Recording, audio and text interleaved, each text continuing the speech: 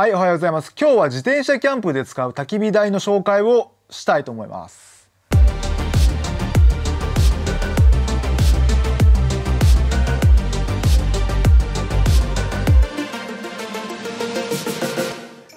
えー、皆さん自転車キャンプに行ってもやっぱり焚き火はしたいと思うんですよね。で、今回僕がね、持ってる焚き火台をちょっと並べてみました。ちょっと物が大きいんでね、テーブルには乗り切んなかったので今日は地べたでやらせてもらってるんですけどでまあ一つここに例外があってユニフレームの焚き火台なんですけどこれはいつも僕が車で子供たちと行く場合のキャンプでのみ使ってる焚き火台です。もうでかいんでね、まあ、明らかに自転車キャンプには持っていけないんで、まあ、一応形の上で今ここに置いときました。自転車キャンプで使う焚き火台のもう絶対的な条件として軽量コンパクトがあると思うんですよ。で軽量コンパクトじゃないとやっぱり持ってくことができなくなっちゃうんで初めね僕が持ってた焚き火台はこれだけだったんで新たに買わなきゃいけないなと思って自転車キャンプ行くのに。で一番初めに購入した焚き火台がこのキャプテンスタックの焚き火台です。これねやっぱり軽量コンパクトになっててで部品点数がねちょっと多いんですけど重さがね約ね 700g 前後なんですよ。まあ重くもなく軽くもなくっていう具合ですかね。自転車キャンプだったらギリ持ってっても大丈夫かなっていう重さなんですけどこれ発売当初はね結構人気があっていろいろカスタムしてる人がいたんですよね。なんかトング置く台を置いたりとかなんかいろいろね自分仕様でカスタムしてる人がいました。でメリットなんですけどやっぱりその軽量コンパクト収納サイズもそんなに大きくないんでバイクパッキングでもおそらくね持ち運びはできると思うんででデメリットですね。デメリットはやっぱり軽量コンパクトな分小さいんですね。大きさが展開サイズも。だからこの焚き火をやるとなるとまあキャンプ場で薪を買うことになると思うんですけど買った薪はもう使えないんで大きすぎて。もし使うんであればなんかノコギリで切るとかバトニングで細くして折ってから使うとかそういう手間をしないとこの焚き火台では焚き火はできないんでもし焚き火をやりたいんであればそういう手間をかけるか周辺に行って小枝とかを探してきてそこで使うかに限られてきちゃうんですよ。そのキャンプ場も自然あふれるキャンプ場だったらいいんですけど高規格なねキャンプ場とかだと結構周りに枝が落っこってないキャンプ場とかもあったりするんでそうなるとねこの焚き火台の出番がほとんどなくなってきちゃうんでその辺がデメリットですねこの焚き火台は。で次に買ったのがこれウッドストーブですね。でこのウッドストーブのメリットこのメリット最大のメリットは二次燃焼ができるっていうことがあって二次燃焼っていうのは燃料になる薪なんかを高効率で燃やしてくれるんで火力がすごく強いんですよ。だからお湯とか沸かす時なんかも結構すぐ沸いたりとか調理する時なんかにも便利なんですよね。で重量も軽くてこれで 300g 前後なんですよ。ださっきのキャプテンスタックの焚き火台よりも軽くてで収納すればそこそここうコンパクトになるんでバイクパッキングにもね収納できるぐらいの大きさなんで。でデメリットですね。でこれウッドストーブのデメリットはさっきのキャプテンスタック同様で薪がやっぱり使えないんですよ。どう考えてもこの大きさじゃあね薪が中に入らないんで薪が使えないのとあとさっきメリットで言った二次燃焼なんですけど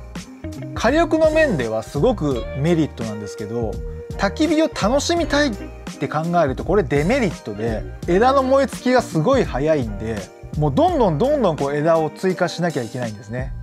でやっぱり焚き火のメリットってのんびりまったりしながらやるのが焚き火だと思うんですけどこれの場合はすごくこうせかせかせかせかこう薪をくべないといけないんで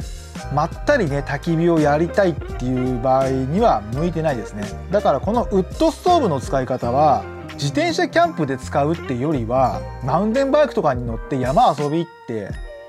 その場でなんか火起こしてお湯沸かしたりとかお昼ご飯食べたりする時に使うっていう使い方が一番合ってるかなと僕は思いますね。なんていうんですかねこうその場に長居しないようなスタイルにはこれは非常に向いてると思います。で次に3つ目に買った僕の焚き火台はこれです。ちちょっとねピコグリルに形が似てるんですけどこれは東京キャンプっていうメーカーの焚き火台ですねでこの焚き火台の最大のメリットはさっきの2個と違って薪が市販の薪がそのまま使えるっていうのがもう最大のメリットです。キャンプ場について展開して薪を買ってきたらもう火を起こせる状態にこれでこれがあればできるんでだから時間をかけて長くのんびりまったりやりたい焚き火にはもうこれがベストです。やっぱりね市販の薪が使える焚き火台っていうのは本当にいいです。キャンプ場ついてからの手間がすごく減るんで部品点数もそんなに多くないんで、まあ、袋から出して展開するまでに、まあ、1分2分ぐらいあればできるかなっていうところですかね。デメリットなんですけどデメリットはねやっぱり大きい分重量もね重いんですよ。これねピコグリルと形は似てるんですけどピコグリルよりも重量重くて1キロあるかないかぐらいの重量なんですよねこれ。収納時も薄くはなるんですけど大きいんですよね。薄くて大きい面積が大きいみたいな感じなんでバイクパッキングで収納するとなるとサドルバッグにはもう入らないんですよ。でフレームバッグにも入らないしハンドルバッグの方はハンドルバッグのドライバッグにはもう入らないんですよ。だからドライバッグの外でハーネスと一緒にドライバッグをこう巻きつけてる感じなんでじゃあねちょっとこの3つ1回収納してどのぐらいのサイズになるか見てみましょう。このね東京キャンプの焚き火台を選んで理由っていうのはピコグリルっていうのもやっぱり選択肢にあったんですけどピコグリルってやっぱり軽い分質量が減っちゃうんで耐久性的にねどうかなっていうのがあってでこっちの東京キャンプの方はまあ大体サイズが同じで重量は重かったんですけど、まあ、その分質量が多くて耐久性は高いかなと思ってこれにしたんですよね。だからこの間の6時間ぶっ通しの焚き火でも全然変形したりしてないんでまあその辺はやっぱりこう質量が多い分頑丈なのかなっていうのはありますね。まあその分重くなっちゃいますけどでねこのウッドストーブね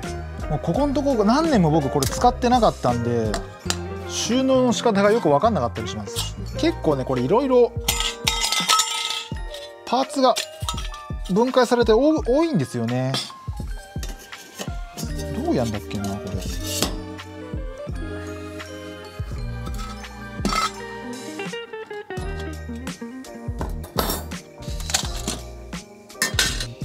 やっぱりこのキャプテンスタックの焚き火台は焚き火台ってよりは何だろう炭火でじっくりなんか焼き鳥とか焼くの方がマッチしてますね使い方としては。じゃあねこれが収納した時の状態です。これがウッドストーブですね。まあ大体ねソロで使うクッカーぐらいの同じサイズかな大体。で重量が 300g 前後。でこれがキャプテンスタックの焚き火台、ま、袋がちょっと大きいように見えるんですけど実際のやつはこんなぐらいの大きさなんでこのサイズだったらバイクパッキングのねバッグにも入るんでフレームバッグにも入るしハンドルバッグサドルバッグにもこれだったらね問題ないです。でこれが東京キャンプの焚き火台。一番ね焚き火がしやすい焚き火台なんですけどやっぱりこう大きいんですよ。このキャプテンスタックの方と比べちゃってもこんだけ大きさが変わってくるんでバイクパッキングには向いてない大きさになりますねこれは。だからちょっと無理して持っていく感じになります。あのキャリアとかパニアバッグを使うスタイルであればもう全然こんなの問題なく持っていけるんですけどやっぱりこうバイクパッキングのスタイルになっちゃうとどうしてもねこう詰めるものが限られちゃうんで本格的な焚き火をまったりやりたいってなるとやっぱりこういったちょっと大きめのものになっちゃうんでそこら辺をねちゃんと理解しつつ持っていかないといろいろ手間になっちゃうと思います。で僕が考えてる自転車キャンプでの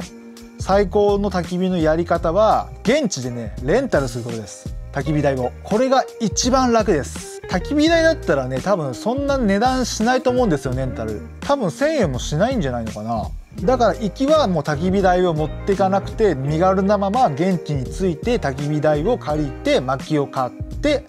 焚き火をするっていうのが一番ね楽に焚き火をまったりできるやり方になるんでただ注意点としては事前にそのキャンプ場が焚き火台のレンタルをしてるかどうかだけ確認しないと実際行ったはいいけど